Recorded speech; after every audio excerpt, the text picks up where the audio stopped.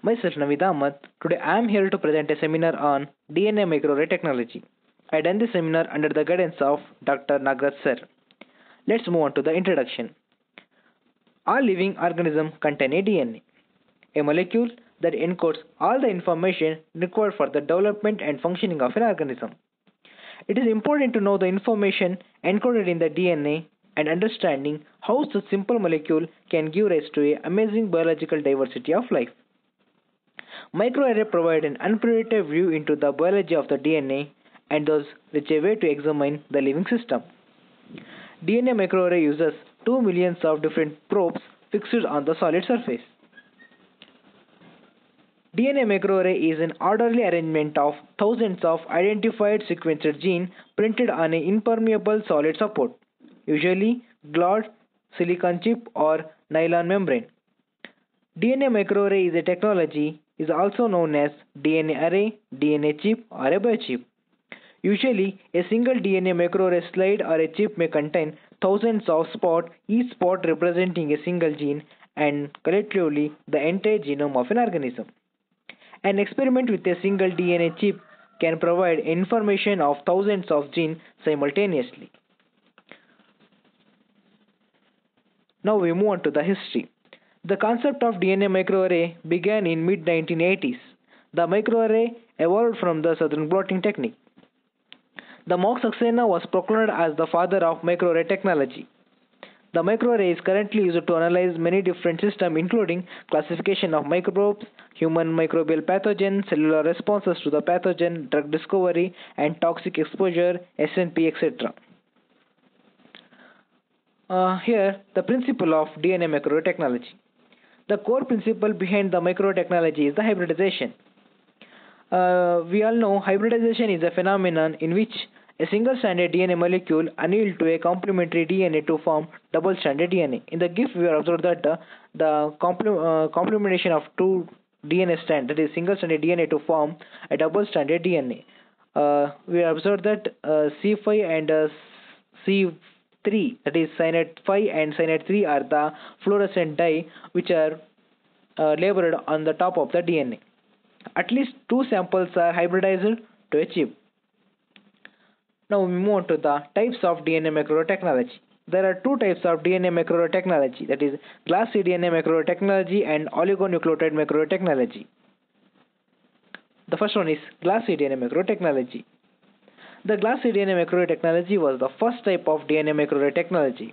As the name suggests, the glass DNA microarray is an especially manufactured by using a glass slide. It is produced by using a robotic devices which deposits a nanoliter of DNA that is 50 to 150 micrometer in diameter in a serial order with a distance of approximately 200 to 250 micrometer. Here the glass DNA microarray contains 10,000 spots in an area of just 3.6 centimeter square. Next one is oligonucleotide macroarray technology. The oligonucleotide macroarray technology are uh, synthesized on a chip, so they are called gene chip.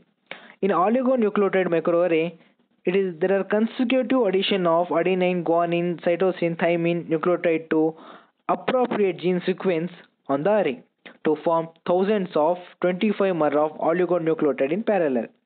Presently, the commercial version of gene chip hold up to 5 lakhs probe per site in 1.28 centimeters square chip area. Now, the steps involved in the DNA macro technology. There are four steps involved in the DNA macro technology sample preparation and labeling, array hybridization, washing, and image acquisition and data analysis. First one is sample preparation and labeling. It involves the maintenance of the cultural media, uh, obtaining of the mRNA from the cultural media, reverse transcription to produce cDNA from the uh, mRNA, and then uh, labeling of the cDNA. The sample preparation start by isolating a total RNA content containing messenger RNA.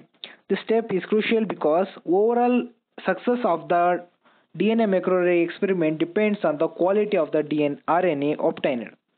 mRNA is a conversion of mRNA is converted to uh, DNA by using a reverse transcriptase that is uh, to form cDNA. Each cDNA are labeled by using fluorescent dye. The next one is uh, array hybridization. Uh, we know the hybridization is a process of joining of two complementary strands of DNA to form double-stranded molecule. Here labeled cDNA are mixed together completely hybridized against cDNA molecule spotted on a glass slide. The next step is washing. The slides are washed after hybridization. First to remove the labeled cDNA that does not hybridize on the other array. Second to reduce the cross hybridization. The final step is image acquisition and data analysis. It is the final step in the microtechnology. Here the slides are dried and placed on the laser scanner to determine how much labeled uh, cDNA are bound to the each target spot.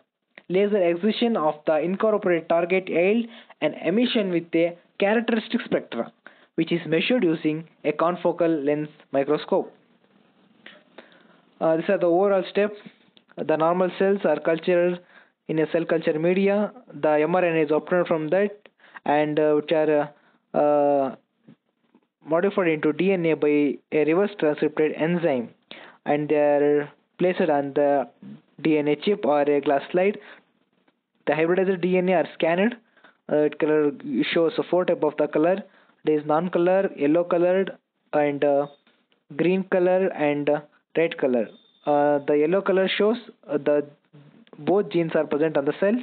Green color shows only the normal cell DNA present. Red color shows only the cancer cell DNA present. Uh, the non-color shows no DNA is present on that spot. The applications of DNA macrotechnology. There are many applications in the DNA macrotechnology. Uh, first one is uh, gene discovery, disease diagnosis, drug discovery, toxicological research, gene expression, and genotyping. The gene discovery, the DNA microarray technology helps in the identification of a new gene that uh, uh to know about their function, expression level, under different conditions. In the disease diagnosis, this technology helps the researchers to learn more about their different diseases such as heart diseases, infectious diseases like uh, cancer. The drug discovery, the DNA microarray technology has extensive application in the pharmacogenomics. But in the toxicological research, the rapid platform for the researchers to impact of toxin on the cell and their passing into their progeny. Uh, the gene expression. The DNA microarray is widely used for the study of DNA, uh, gene expression. Uh, in the early uh, uh, year, there are many genes uh, which has to be identified by different techniques. But the gene expression study by using microarray technology become easy. by using micro, technology, a set of 17 genes were identified with a poor prognosis in the breast cancer. The finally, the SNPs. Microarray can also be used for the developing of cost-effective chip for the detection and screening of many SNPs. And the advantages and disadvantages of DNA microarray technology. It provides uh, advantages. It provides data for thousands of genes. It is fast and easy to obtain a result, and uh, one experiment instead of many a huge closer to discovering a cure or discovering curves for the disease and cancer. Different parts of the DNA can be used to study the gene expression. The disadvantages uh, the chip uh, are very expensive to create.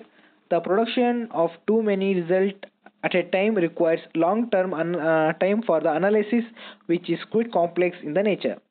The biggest disadvantages is if they have, don't have long shelf life.